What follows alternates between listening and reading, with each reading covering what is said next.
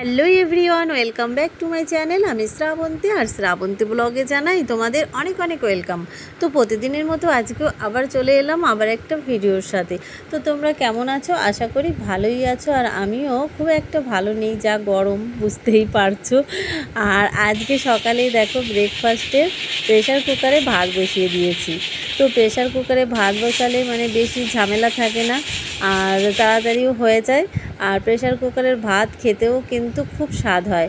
তো প্রেশার কুকারে দিয়েছিলাম ডিম সিদ্ধ আর আলু সিদ্ধ। তো আলুটা বেশ সুন্দর করে মেখে নিয়েছি, পেঁয়াজ, লঙ্কা টঙ্কা দিয়ে দারুণ করে। তো এইভাবে খেতে কিন্তু হেভি লাগে আমার। তো অনেক দিন পরে আমি সিদ্ধ ভাত খাচ্ছি। আর তারপরে তো বেজে গেছে বারোটা আর সেই স্নান করেছি আটটার আগে। তো এখন জামা কাপড়গুলো তুলে রেখে আবার যাব দুপুরে রান্না করতে। তো দেখো আকাশটা এত রোদ্দুর তাকানোই যাচ্ছে না। আর তারপরে তো এই যে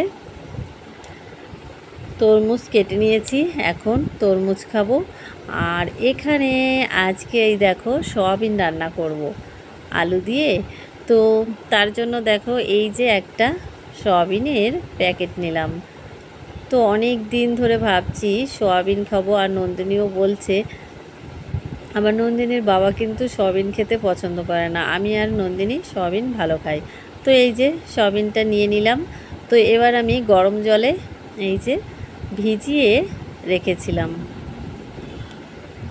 তো এবার আমি সয়াবিনগুলোকে ভালো করে জল বার করে নেব। আর এখানে আলুও দেখো কাটা হয়ে গেছে। আলু আর সয়াবিন দিয়ে ঝোল রান্না করলে মাছ মাংস ফেল, এত সুন্দর লাগবে খেতে। আর এখানে এই যে দেখো, পেঁয়াজ টেয়াজ যা যা আছে, আর এই যে তারপরে তো সয়াবিনটাকে হলুদ আর লবণ মাখিয়ে নিলাম। লবণটা আগের থেকে মাখিয়ে নিয়েছি, এবার কিন্তু এই দেখো, সয়াবিনটা অনেকটাই তেল দিয়েছিলাম। দেওয়ার সাথে সাথে সয়াবিনে কত তেল টানে দেখো। তো তেলটা টেনে নিল তো এবারে কিন্তু হালকা করে ভাজবো। বেশি মানে ভাজা ভাজা করে করব না, তাহলে আবার নন্দিনী খেতে চায় না। তো হালকা ভেজে নিলাম। আর এবারে দিয়ে দিলাম আলুটা। তো আলুটাও এবার ভেজে তুলে নেব। তো দেখো এই যে আলুটা আমার ভাজা এই দেখো প্রায় হয়ে গেছে। আর এবার আমি দিয়ে দেব এই যে জিরে, লঙ্কা, পাঁচ, ওই পাঁচফোড়ন বলছি, এলাচ, তারপরে তেজপাতা এসব দিয়ে দেখো মশলাটা দিয়ে দিয়েছিলাম। আর এবার আমি কষিয়ে নেব। তারপরে চিলি পাউডার একটু দিলাম। কারণ নন্দিনী আবার বেশি ঝাল খেতে পারে না। কিন্তু এখন খাচ্ছে, ইদানিং বেশ ঝাল খাচ্ছে নন্দিনী। আর এখানে দেখো জলটা দিয়ে দিয়েছি।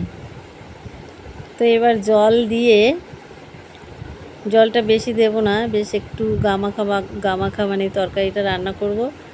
একটু গ্রেভি গ্রেভি করে, ভালোই লাগে খেতে এইভাবে। তো এই যে, দেখো, রান্না কিন্তু আমার হয়ে গেছে। আলু দিয়ে, সয়াবিন দিয়ে রান্নাটা আমার কমপ্লিট। তো এইভাবে রান্না করলে কিন্তু মাছ, মাংস একদম হাড় মানাবে, দারুণ লাগবে খেতে। আর আমার তো সয়াবিন হেভি সুন্দর লাগে। তো আমার আজকের এই সয়াবিন রান্না কেমন হয়েছে অবশ্যই বলো। আর এই যে দেখো, এটা নন্দিনীর জন্য দিয়েছি নন্দিনীকে খেতে। এই যে সয়াবিনের কালারটা দেখো। আর নন্দিনীর তো আবার মাছ হোক, মাংস হোক, ডিম হোক, লেস দু প্যাকেট লাগবেই প্রত্যেকবারে খেতে। তো এই যে সোয়াবিন দিয়ে নন্দিনীকে খেতে দিয়েছি, ওই যে দেখো। আর আমিও এপাশে এই যে খেতে বসে গেছি। তো দারুণ লাগল সোয়াবিন দিয়ে খেতে। তো তোমরাও কিন্তু এইভাবে ট্রাই করে খেতে পারো, অবশ্যই সুন্দর লাগবে। আর তারপরে দেখো এই যে লাস্টে আবার একটু আমের চাটনি নিয়ে খেলাম। আমের চাটনিও করেছিলাম। তারপরে তো বিকেল হয়ে গেছে। বিকেল কি? একদম বাজে কটা তখন। সাড়ে ছটা বেজে গেছে।